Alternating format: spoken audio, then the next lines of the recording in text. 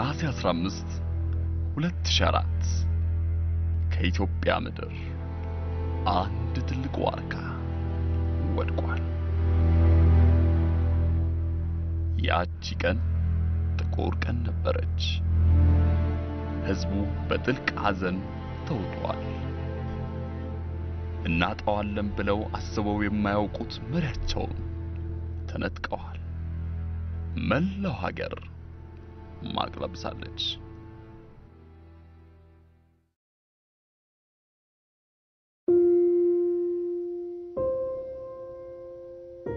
ለእኔ ትልቁ ነገር ለዓላማ መኖር ነው።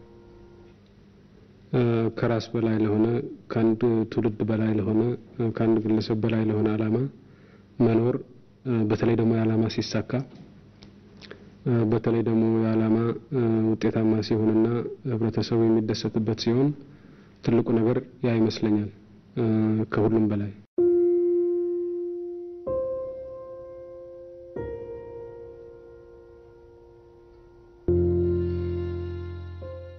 ከመለስ ኑሮ የእኛ ኑሮ ይበልጣል። ምክንያቱም at least እኛ ከቤተሰባችን ተገናኝተን እናወራለን፣ እንስቃለን፣ life ኣችን እናሳልፋለን። እሱ ግን እንደዚህ አይነት life አልነበረው። ሀያ አራት ሰዓት ሳያቋርጥ ሲሰራ ስታይ ሳይታወቀ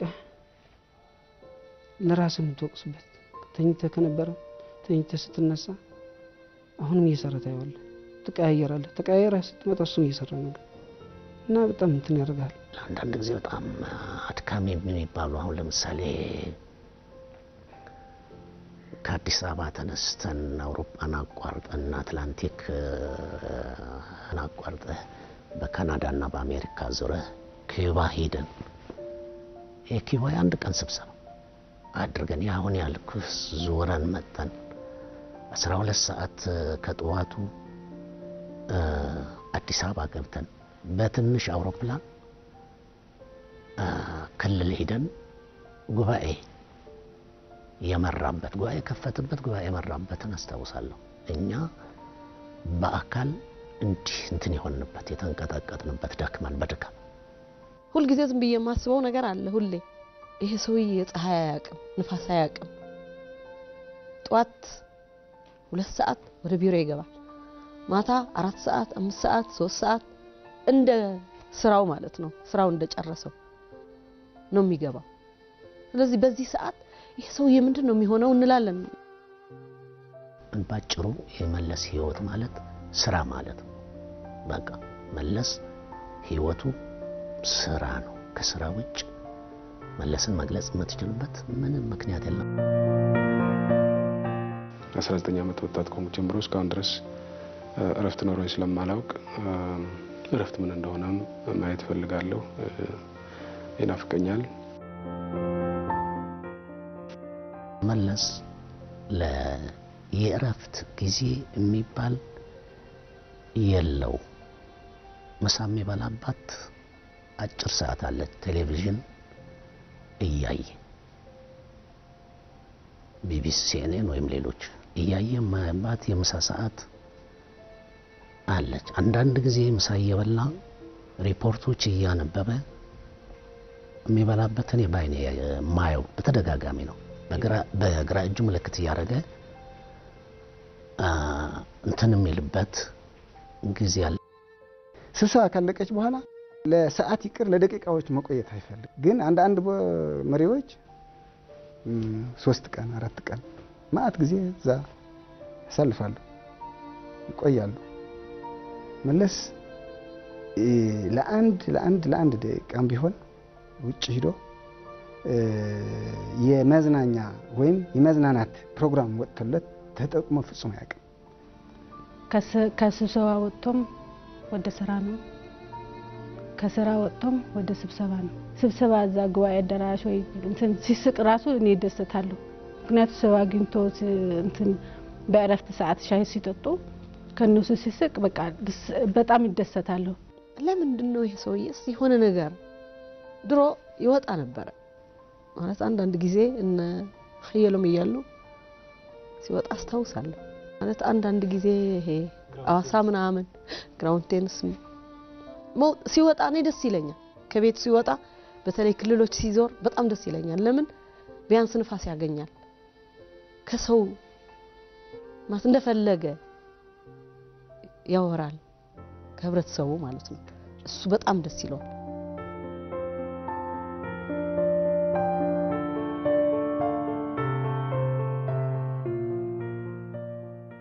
ትንሽ ለምን አታርፍም እለዋለሁ። ትንሽ ድክም ብሎ ምናምን ካየሁት ዝም ብዬ እንደዛ ስለው አዎ እሺ እታክማለሁ፣ እሺ ይለኛል። በቃ ይችናል ተደፍቶ ጠዋት ገብቶ እስከ ምሽቱ አራትና ሶስት ሰዓት ገብቻ ሁሌ አንድ ጊዜ ቀና ሳይል በማይበት ጊዜ ለምን ትንሽ አትልም አታርፍም እምልበት ጊዜ አለ። ግን ብዙም አይናገርም። ድሀ ሀገር ይዘን እንዴት እናርፋለን?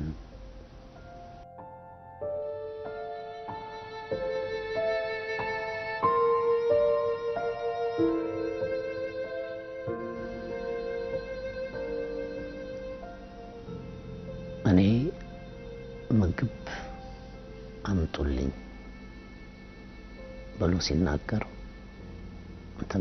ማስታውሰው ነገር የለም። ለሀያ ምናምን አመት አንድም ቀን ቤት ሄዶ ምሳ በልቶ አያውቅም። ከቅዳ ከሰኞ እስከ ቅዳሜ ጠዋት ተቋጥራ ነው የምትሄደው ምግቡ፣ ምሳ ተቋጥራ ነው የምትሄደው። ከባለቤቱ ከልጆቹ ጋር ሆኖ ምግብ ሲበላ ምናምን አታይም። ምናልባት እሁድ እንግዳ ኖሯቸው ምናምን ልጆቹ ብታይ ሰናይ አዲስ አበባ ከገባን በኋላ ነው የተወለደው። ያደገው እንደማንም ህብረተሰብ አወጅ እየተቀደደ ያው የሽንት እንትን እየተቀየረበት ነው ያደገው። አልጋ ላይ የመርካቶ ቀርቀሃ ተገዝቶ ነው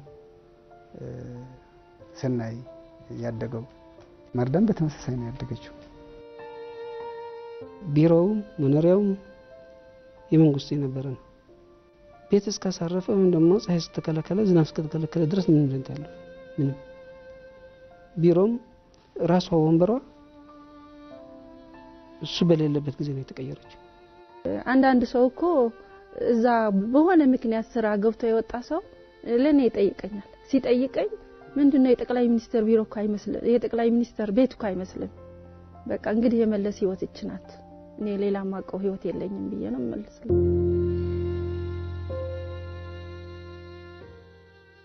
አንድ ጊዜ ገጠመኝ ማለት ያም የ World Bank ፕሬዝዳንት መጣ እና ያው የእንግዶች መነጋገሪያ ላይ ተነጋገሩ ተነጋገሩና ሲወጣ ቢሮዋ ያው የእንግዶቹ ከዛ በፊት መጥቶ ነበር እና ያውቃታል እሷ እና ወደ ቢሮ መግባት እችላለሁ። ወደ ቢሮ ቁጭ ብለህ ምን ትጽፍበታለህ አጋጣሚ እዛ አካባቢ ነበርኩና ውሰዱታል። ወዴትም መጠየቃቸው ታውሰዱታል ገባ። ቢሮውን አየው ያው የመንግስት ናት። መጀመሪያም ገልጽልህ ነበር። የመንግስቱ የነበረች ጠረጴዛ ናት። የመንግስቱ የነበረች ወንበር ናት። ቁጭ ያለበት የሚጽፍበት እሷ ናት። እና የተቀዳደደች ናት ራሷ። የጠረጴዛ የጠረጴዛው ሽፋን ፕላስቲክ ነገር አለ። እሱም የራሱ የተቀዳደደ ነው። አየ። ጭቅላቱን ቀሰቀሰ። ወደ ቤት ወስደኛለሁ። ውሰዱት ብለናል። ወደ ፈለገው የጠየቃቸው ውሰዱበት ይዤው ሄድኩ። ቢሮ ሄድኩ። ወደ መኖሪያ ወሰድኩት። ሄደ። መኖሪያ ገባ። መኝታ ክፍል አየ። ከመኝታ ክፍሉ ማታ ማታ ገብቶ የሚጽፍበት። ቢሮን ገብቶ አየ መጨረሻ ዝም ብሎ ወገቡ ይዞ ቆመ ሰውዬው እና ምግብ የሚበላ የት ነው አለ። ምግብ ደግሞ መኖሪያ ቤት ምግብ የሚበላበት ቦታ ደግሞ የለውም። ያው ብዙን ጊዜ ብዙ ምግብ አይበላም። ማታም ብዙ አይበላም። ሾርባ ምናምን ካገኘ እሷን አድርገው ወደ ቢሮ ነው የሚገባው። እና ኩችናው ግን ማየት ፈልጋለሁ አለ ወሰድኩት። ሄደ አየ። ኩችናውን አየ። ከዛ በኋላ ሰራተኛውን ጠየቃት። ምግብ የምትሰራው ልጅ ጠየቃት አየ። ቢሮ ሲሄድ በየትኛው በምንድን ነው የምትልክለት አላት። ወደ ቢሮ የምትቋጠሩበት ሳህን ማየት። ቅላት ቀስቀሶ ሄደ። እቃ መሟላት ለሱ ትልቅ ነገር ስለሆነ አይደለም ማለት ዝም ብለህ ስታስበው ስታየው። ግን እሱ ከማንም በላይ ሆኖ መኖር አይፈልግም። እንደ ማንም የኢትዮጵያ ማህበረሰብ የሚኖርበት የኑሮ ስታንዳርድ ሲኖር ነው ደስ የሚለው። ይህንን የሚያደርገው ደግሞ ዝም ብሎ ለ ወይም እንዲባል ወይም ሰው እንዲያይለት ወይም እንትን አይደለም፣ ከልቡ ነው።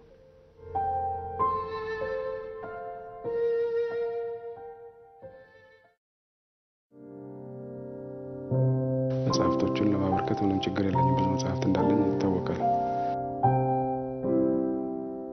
አንባቢ መሆኑ ጓደኞች አሉ፣ ፕሮፌሰሮች አሉ፣ ትላልቅ ፕሮፌሰሮች በዓለም ደረጃ እነሱ አዲስ የወጣ ገበያ የወጣ መጽሐፍ ይልኩለታል። ስጦታ ተሰጥቶት መለስ thank you አመሰግናለሁ ብሎ የሚቀበለው ደስ ብሎት የሚቀበለው ስጦታ መጽሐፍ ብቻ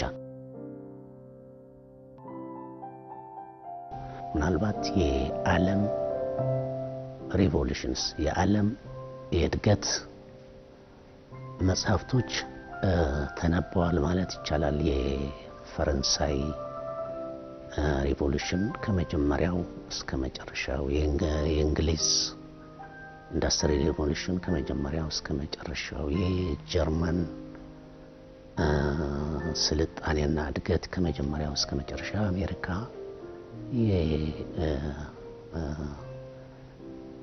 የምስራቅ ኤዥያ ሀገሮች የልማት የዴሞክራሲ አቅጣጫዎች በሙሉ መጽሐፍቶች ከየትም ተፈልገው አረቄ መጽሐፍ በገበያም ላይ የሌለ መጽሐፍ ኤምባሲዎቻችን ፎቶኮፒ አድርገውም እንዲሰጡን በማድረግ እስከዛ ድረስ ገበያ የሌለ መጽሐፍ የስንት ዘመን የስንት መቶኛ ክፍለ ዘመን መጽሐፍ መጥተው ያነባልና የመለስ ትልቁ ሀብት መጽሐፍ ነው። ስለምትሄድበት የትኛውም አካባቢ በጣም የተሟላ እውቀት አለው። በኤሽያም ብትሄድ፣ በአውሮፓም ብትሄድ፣ በአሜሪካም ብትሄድ፣ በየትኛውም አካባቢ እዛ ያለው የሀገሩ ታሪክ፣ የሀገሩ እድገት፣ የሀገሩ ማንኛው ነገር የተሟላ እውቀት አለው። ይህንን ደግሞ ከማንበብ የሚነሳ ነው የሚመስለኝ። ለምሳሌ እኔ የማስታውሰው የአልፕስ በረዶ ተራራ በስፋት አንድ ጊዜ ብቻ አይደለም ሁለት ሶስት ጊዜ ስረዳን አስታውሳለሁ። በዚህ በኩል ኦስትሪያ ያዋስነዋል፣ በዚህ በኩል ጀርመን ያዋስነዋል፣ በዚህ በኩል ፈረንሳይ ያዋስነዋል፣ በዚህ በኩል ጣሊያን ያዋስነዋል። ፈረንሳይ ይህን ያክል percent ነው የአልፕስን የምትካፈለው ይህን ብሎ በዝርዝር እንትን ያደርጋል። እኔ አቅጣጫው ሰማይ ላይ ሆነ አቅጣጫውን በደንብ መለየት እንትን የሚልበት ነው እና ምናልባት ከማንበብ ነው የሚሆነው።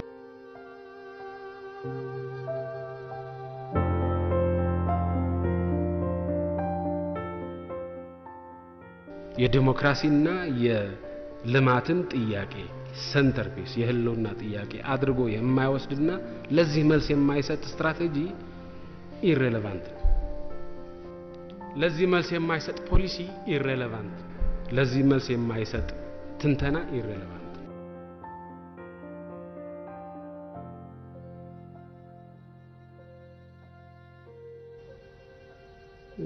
አንዴ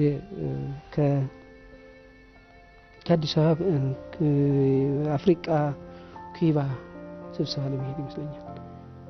በጣም ረዥም ጊዜ ነው የቆየ ነው። ወደ 18 ሰዓት እና 20 ሰዓት አካባቢ አየር ላይ እና አንድ ደርዘን ማስታወሻ ጠቃላይ ትላልቆች ናቸው ማስታወሻዎቹ። ጨርሶ ከኩባ እንደገና ገዝተን ሌላ ደርዘን እዚህ እስኪደርስ ድረስ እንደገና እሱ ጨርሶ ጣቱ ደምቶ በፕላስተር ለጥፎ የሚጽፍበት ጊዜ ነበር። እነዛ ብሎ እያመመው የሚጽፍ ሰው እኮ ነው። ተኝቶ infusion ይዞ እንደዚህ IV drip ተደርጎለት አዎ ግሉኮስ እየወሰደ ሲያነብ ነው የምታየው። ሁለት መቶ ገጽ ጽፎ አንድ ገጽ እንደዚህ ሲሰርዝ አታይምና የሀሳብ የሀሳብ flow ሀሳብ የማመንጨት እንትኑ የሚገርም ሀሳብ ነው። ይሄ ብቻ አይደለም። speech ኦች እነዚህ grand speeches የሚባሉ በጣም መነጋገሪያ የሆኑ በዓለምም በሀገር አቀፍም ደረጃ የሚናገሩ አንድም ቀን ሌላ ሰው ጽፎለት አያውቅም። ያ ሁሉ እየጻፈ ያ ሁሉ እየሰራ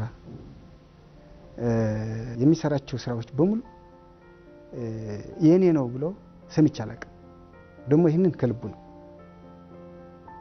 የእኛ ናቸው የሰራናቸው ስራዎች ብሎ ነው የሚጀምረው። መጽሐፍ ሲያነብ ደግሞ ለንባብ ተብሎ አይደለም፣ አንብቦ ወደ ተግባር የሚተገበር ነው። ነገ ተጽፎ direction ከሀገራችን ሁኔታ ጋር ተጣጥሞ ለሀገራችን መመሪያ የሚሆን አቅጣጫ የሚሰጥ ስትራቴጂ ሆኖ ጎልብቶ የሚወጣ ሀገሪቱ የምትመራበት ሁሉ አንብቦ ከሀገራችን ጋር አስማምቶ ጽፎ ነው ለእኔ ያለማጋነን ለቀጣዩ ሰላሳና አርባ ዓመት እች ሀገር እነዚህ የወጡትን አቅጣጫዎች በመተግበር ብቻ ረዥም ርቀት መሄድ እንችላለን የሚል እምነት አለ።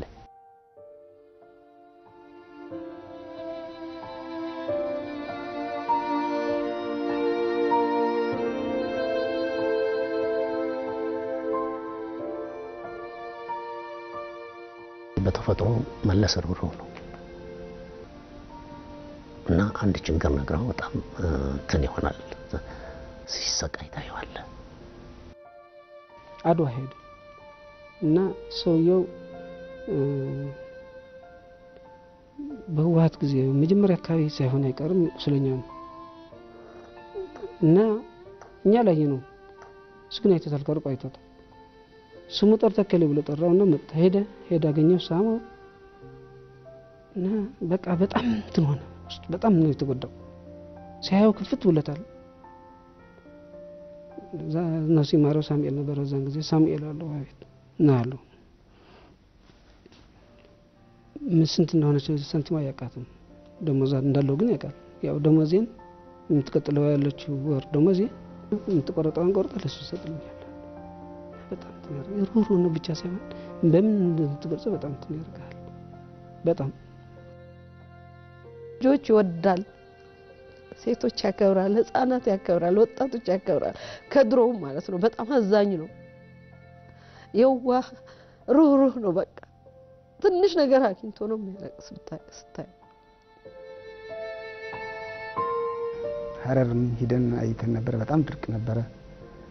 ህፃናት በድርቅ የተጎዱ ህፃናት፣ በምግብ የተጎዱ ህፃናት ሰውነታቸው ማስነው ሲያይ በጣም በጣም ዘወር ብሎ በጣም አለቀሰ። በጣም አዘነ።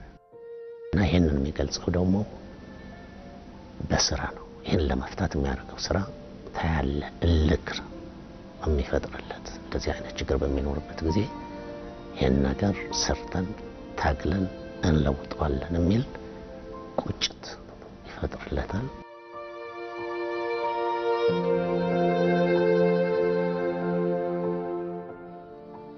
ደሞዝ እንዳለው ምናልባት ሊያውቃት ይችል ይሆናል። ደሞዝ ግን ኪሱ የሚባል ነገር ቀምሶ አያውቅም፣ አይቶ አያውቅም። ጣቶቹ ብር የሚባል ነገር ነክተው አያውቁም አያውቁም። በዚህ አጋጣሚ አንድ ነገር ልንገር።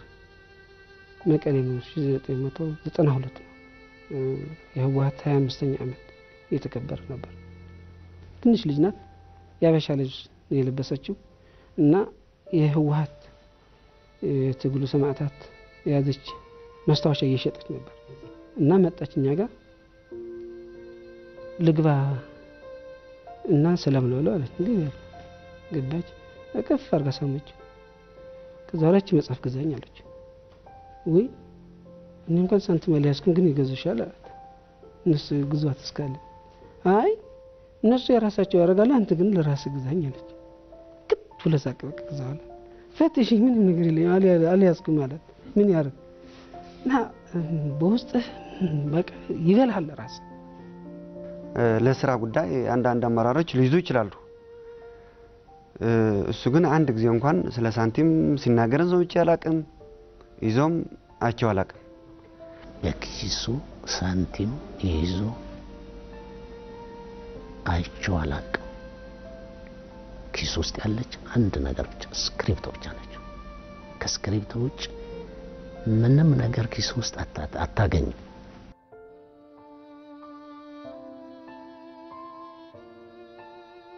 መለስ በጣም ሰው አክባሪ ሲበዛ ሰው በጣም አክባሪ እኩልነት ለእኩልነት የሚሰጠው ቦታ በጣም ትልቅ ነው እና ግንኙነታችን በጣም ቤተሰባዊና more ጓደኝነት እና እንደ ወንድማችን እንደ ጓደኛችን ደግሞ በትልቁ ደግሞ በጣም በምናከብረው ሰው አይነት አድርገን ነው የምናየው። አንዳንድ ጊዜ ትንሽ መንዳት ስለሚችል አንተ ተኛና እኔ ልንዳ ትንሽ ላግዘ ብሎ ያግዘኛል። መለስ ማለት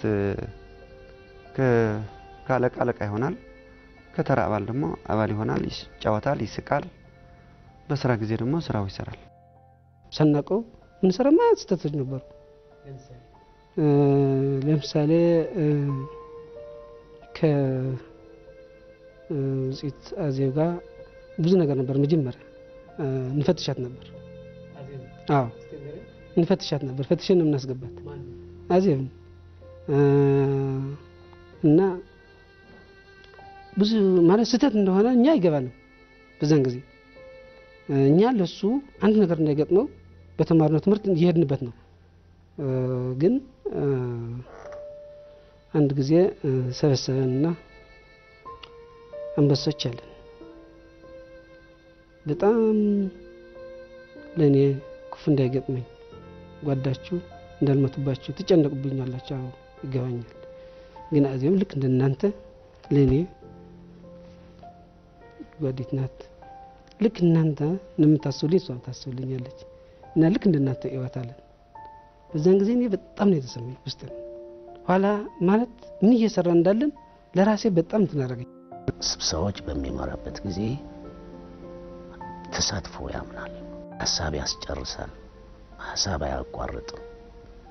ከዛ በኋላ ነው ይሄ በዚህ መንገድ ቢሆን የተሻለ ይሆናል፣ ይሄ በዚህ ከሄድን ውጤቱ ይሄ ነው፣ አዎንታዊ ውጤቱ ይሄ ነው፣ አሉታዊ ውጤት ይሄ ነው ብሎ በማስረዳት በማሳመን እና በዚሁ ደረጃ ዴሞክራት ነው ሲበዛ መለስ እንግዳ ነበረው። እ፣ ሻይ ፈለጉና ለገብረ ስላሴ እ፣ intercom አለ intercom አድርጎ ሻይ ይለዋል።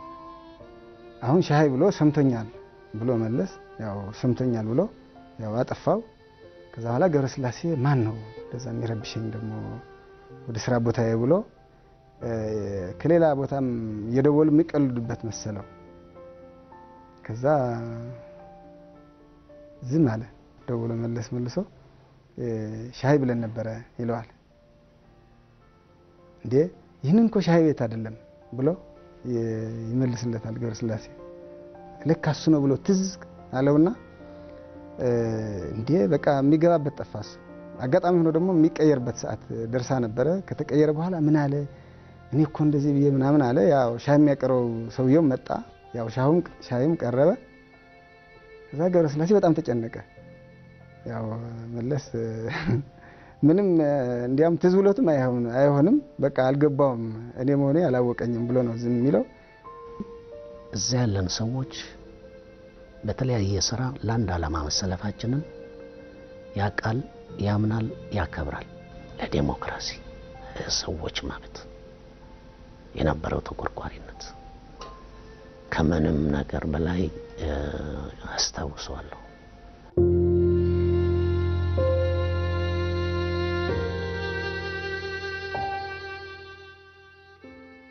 በይፋ ጉብኝት መልክ ወደ ክልሎች መሄድን አልመርጥም። በግል ግን የቻልኩትን ያህል እሄዳለሁ። አርሶ አደሮች ጋር ለመነጋገር ጥረት አደርጋለሁ። ተራ ሰራተኞች ጋር የመንግስትም ሆኑ ሌሎች ሰራተኞች ጋር ለመነጋገር ጥረት አደርጋለሁ። የሚሄድበት ትልቁ ምክንያት ለመማር ነው። ኑሯቸው ምን ይመስላል ብሎ ያላቸው ተጨባጭ ሁኔታ ምን ይመስላል የሚለው ነገር ሁሉም የተሟላ information ትንሽ እርካታ ያገኘ የሚመስል ጥያቄው እየጠየቀ መልስ በበለጠ የሚያገኘው ከአርሶ አደሮች ነው። በጣምም ከውስጡም ተም ውስጡ የሚያየውም ገበሬዎች ጋር ከሄድ ሲያወራ ገበሬዎቹ ጋር ሲጫወት ህይወቱ ከየት እንደጀመረችና ወዴት እየሄደች እንደሆነች ሲያወሩት ልክ ምን ልበል የተለየ እንትን ሰጥቶ እነሱን ያዳምጣል። የተለየ በቃ ኑራቸውም ገብቶ ማየት ይፈልጋል ብቻ ሳይሆን ያያታል። ገብቶ ከየት ጀምረው የት እንደተለወጡ ይጠይቃቸዋል። ለራሳቸው ነው የሚጠይቃቸው፣ ከራሳቸው ነው የሚወስደው። ውጭ ይመጣ ኤርፖርት ላይ ሶስት ቀን ይሆን ምናምን ቆይተህ ትመጣለህ። ይመጣል። ሲመጣ የመጀመሪያ ጥያቄው ምንም ምንም ሳይል ዝናብ እየዘነበ ነው ወይ ብሎ ነው የሚጠይቀው። ሌላ ዘመድ የለውም። ህዝቡ፣ ሀገሩ፣ ይሄ ህዝብ መቼ ነው ሶስት ጊዜ በቀን የሚበላው ብቻ ነው በራሰቡ ሁሌ ለምለም እንድትሆን ሀገሩ ይፈልግ ነበር።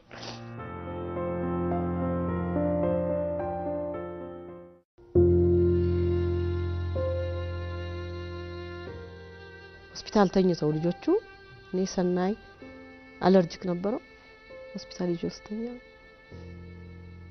ሂዶ አያይም። እንደ ሌላ አባት ወጥቶ ልጁ አያይም። ልጆቹ መጥተው አያገኙትም። ማለት ሶስት ሰዓት አራት ሰዓት አምስት ሰዓት ጊዜ ሲገባ ትምህርት ውለው ነው የሚመጡ። እነሱም እሱም ቢሮ ነው የሚውለው። እንዲያውም መለስ በጣም ልጆቹና ቤተሰቡ በጣም ነው የሚወደው። በተለይ ደግሞ መለስ አጠቃላይ ለህፃናት በጣም ነው የሚወደው። ለምሳሌ ቢሮ አምሽቶ መጥቶ ለእያንዳንዳቸው የተኙበት ብዙ ጊዜ ከተኙ በኋላ ነው የሚመጣው። ትምህርት ቤት ይውላሉ። ከትምህርት ቤት እሱ አምስት ሰዓት ስድስት ሰዓት ነው የሚመጣው። ቅድም እንደነገርኩ በዚህ ሰዓት ላይ መቼም ልጆቹ ቁጭ ብለው ሊጠብቁት አይችሉም። ያኔ ልጆቹ በየተኙበት እያንዳንዳቸው አይቶ ስሞ ገልጦ አይቶ ልጆቹ በጣም በተቻለ መጠን ባለችው ነገርም ፍቅሩ ይገልጻል። ስለ ቤቱ ከቤተሰቡ ከልጆቹ የሚያሳልፈው ጊዜ አልነበረም። ልጆቹ ሲጨንቃቸው ቢሮ ሄደው አስፈቅደው ገብተው ሰላም ብለውት የሚመጡበት ሰዓት አለን። ያ አስታውሳለሁ። ይናፍቁታል። እዚህ ሀገር ቤት እያለ ማለት ነው። እናቱ እሱን ለማየት መጥተዋል። ዘጠና ሶስት ከዛ ማዘር ከሱ ጋር አምሽተው ማለት ቤተሰቡ ሁሉ አግኝቷቸው ትንሽ ተጫውቶ ወደ መኝታ ቤቱ ገባ። እሳቸው ግን ጫውቶ ተኝተው አደሩ። ለክም ወደ እዛ ቤት መጥተው ማለት ነው መኖሪያ ቤቱ። ከዛ አርፈው አደሩ አጋጣሚ። ከዛ ሲያርፉ ማለት ተጨናነቀች አዜብና አጋጣሚ መጣ። ደህና ዋልሽ፣ ደህና አደርሽ። ሲወጣ እና ሲገባ ካገኛቸው ደህና አደርሽ፣ ሲወጣም እንደምን ዋልሽ ይላቸዋል። በዛን ሰዓት ግን ሞተው ሲያዩ እይታ አረጋቸው። ቤቴ ቤቴ ብሎ አያቸው። ገልበጥ ገልበጥ አድርጎ ጭንቅላታቸው እዩት በሉ ብሎ ነው የሄደው። ወደ ቢሮ ነው የገባው። ቀን ወደ ቢሮ ነው የገባው። የህዝብ ሰው የሀገር ሰው መሆኑን በዚህ ነው የምታውቀው። የመለስ መግለጫ የለውም። በእኔ አንደበት የሚገለጽ አይደለም። ወቅቱ መጥፎ ነበር። አንድ ጊዜ ስማል ተቀታለ አሁን ትልቅ ሰው ሆናለች እና መኪና ይዣት እየሄድኩ ነው ትምህርት ይዣት እየሄድኩ ወቅቱ ደግሞ የዘጠና ሶስት በህወሀት ደግሞ የመከፋፈል እንትን ነበርና መለስ ቢሸነፍ ጥሩ ነበር አለች። ደነገጥኩኝ። እኔም አቆምኩ መኪና። ምን አልሽ አልኩ። ምን አልሽ የምታይ አልኩ። በጣም አስተሳሰቧ ደግሞ በጣም ትልቅ ነው እና ብልኝነቷ ጀምሮ እንደዛ ነው የነበረችው። በጣም እንደዚህ እንደዚህ ቢሆንማ ቢሸነፍ እኮ አባቴ እንኳን እንዲያውም በቀን ይዤ እሸራሸራለሁ አባቴ እንኳን ስማለሁ። ይታይ እንደዛ እኮ አይደለም። እንደዚህ ቢሆን እንደዚህ ሊሆን ነበር ብዬ ሁኔታዎችን ሊፈጠር የሚችል የነበረ ሁኔታ ስነግራት አይ ስቀልድ ነው ብላ ስማ እኔ በውስጤ ግን በጣም ተረበሽኩኝ። ራሴ በቃ በጣም ተሰማኝ። እኛም ካንተ ይህንን እንፈልጋለን፣ ይህንን አድርግልን ማለት ይችላሉ ቤተሰቡ። ግን እኔ ቤተሰቡ እንደፈለገ እሱ በሚፈልገው መንገድ እንዲሰራ የተመቻቸ ሁኔታ ፈጥረዋል ብዬ ነው የምለው።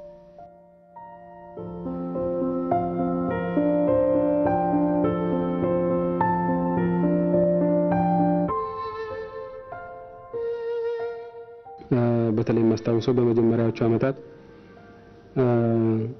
አካባቢ በተካሄደ ጦርነት ወደ አካባቢ ስለተመታው የጭንቅላት ነገር አደገኛ ነው የሚል ግምትም ስለነበረኝ ያን ጊዜ ለተወሰኑ ደቂቃዎች ምናልባት አንድ ግማሽ ሰዓት ያህል ከአሁን አሁን አለቀች ያልኩበት ሁኔታ ነበረ። ከዛ በኋላ ግን ይህን ያህልም አልቀጠለም።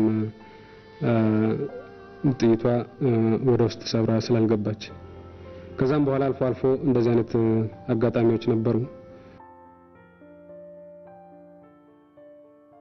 አንድ ጊዜ ሰባ ስምንት ሰባ ዘጠኝ አካባቢ ሊሆን ይችላል። ሱዳን ከሱዳን ደርሰን ስንመጣ አንድ የኤርትራ መሬት ነው። እዛ የስለላ አውሮፕላን አለች። ሰላ ስትሄድ ድምፅ ሰምቻለሁ። ድምፅ ሰምተናል ሁላችን። ልብ አላልነው እዛን ጊዜ። ከዛ እዛ ተኝተን እያለን መለስ መኪና ላይ ተኝተዋል። እኛ ደግሞ መሬት ላይ ተኝተናል። ምክንያቱ ጉዞ ላይ ስላደርን ግዴታ መተኛት አለብን። ከዛ አስር ሰዓት አካባቢ የሚግ ድምፅ እንሰማለን፣ የአውሮፕላን ድምፅ። ከዛ ገና ሳንነሳ መለስ የተኛባት መኪና አንድ መኪና አለች። ከዛ ሶስተኛ ያለ መኪና መጥቶ መታት አውሮፕላን በሮኬት ማለት ነው። መኪናው ተቃጠለ። ከዛ ከሱ ከመኪና ያለ ጫማ ተነስተን ወደ ሌላ ቦታ ወሰድ ነው። ለዚህ ዛን ጊዜ ከአደጋ ነው የተነሳው የቀረ። ሰማንያ አንድ ደግሞ ማላሪያ ይዞ ደጀና የሚባል ቦታ ወባ ይዞት በጣም ፌብራይል ነው። አዜብም በዛን ሰዓት እርጉዝ ነበረች፣ እሷም ወባ ይዟታል። በዛን ሰዓት በጣም አስደንጋጭ ነበረ። ሁለቱም በ stretcher ሲወጡ አስታውሳለሁ። እኔ አባይ ኡይ ሲል አባይ ፀሐዬ ማለት ነው አሪ ያለ ደነገጠ። በቃ ሁለቱም በ stretcher ነው የወጡት።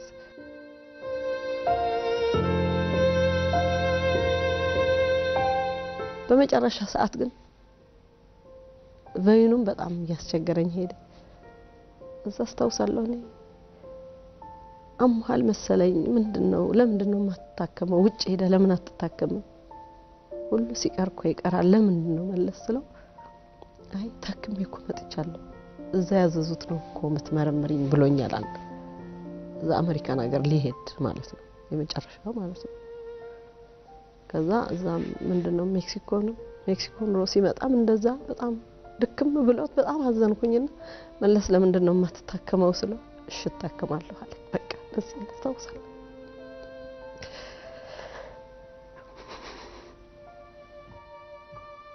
እዛ ሰዓት መጥፎ ነበር፣ ጥሩ አልነበር። እዛን ሰዓት ለማን ነው የምትናገረው? ምንድን ነው የምታደርገው? ግራ ገባኝ።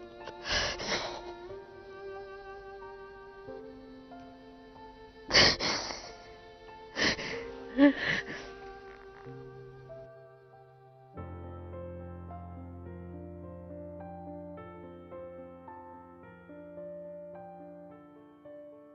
ልበል?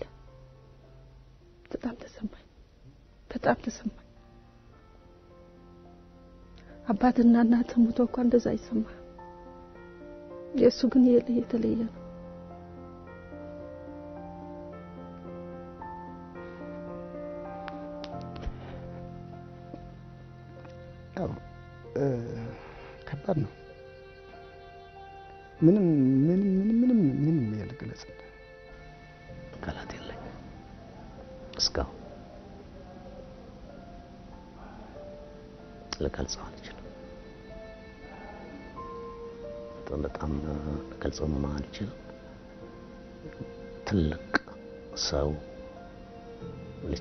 ለዚች ሀገር ለአርባና ከዛም በላይ ዓመት የሚሆን አቅጣጫ ቀይሶ አስቀምጦ ሄዷል። በዛ ከተመራን ብዙ ስራ መስራት እችን ሀገር መለወጥ እንደምንችል ይገባኛል።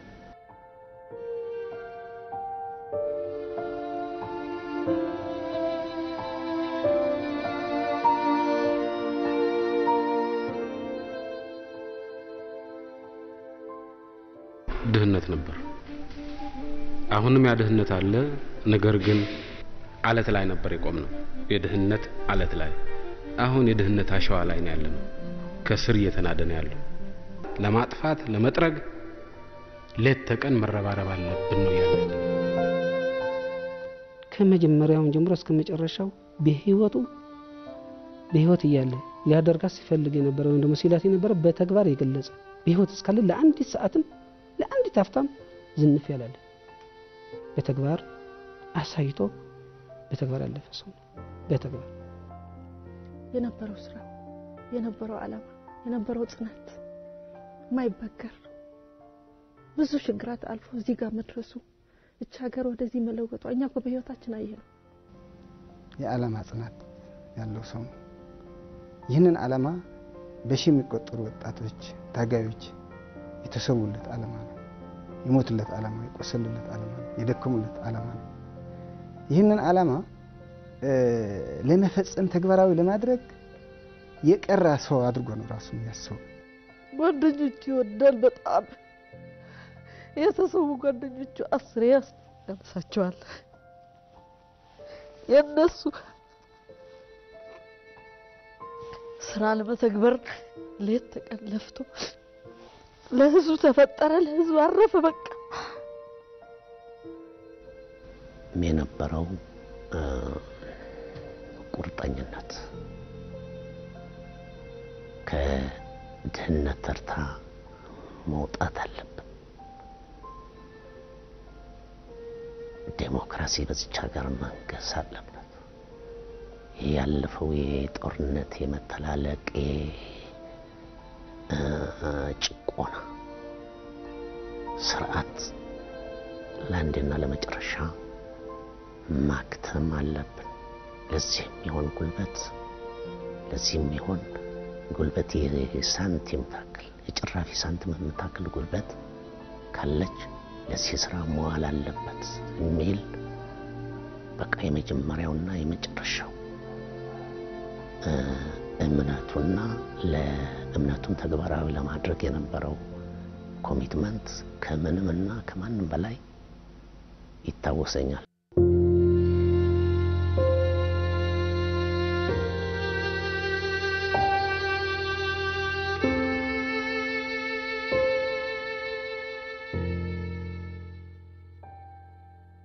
ማንኛውም አስተሳሰብ መመዘን ያለበት ለሰፊው ሕዝብ ከሚያስገኘው ፋይዳ ነው የሚል ጽኑ እምነት የነበራቸው አቶ መለስ ዜናዊ ከወጣትነት እድሜያቸው ጀምሮ በልባቸው ውስጥ የሰረጸውን የሕዝብ ሰቆቃ ለማስቀረት ራዕይ አንግበው ሌት ተቀን ደክመዋል።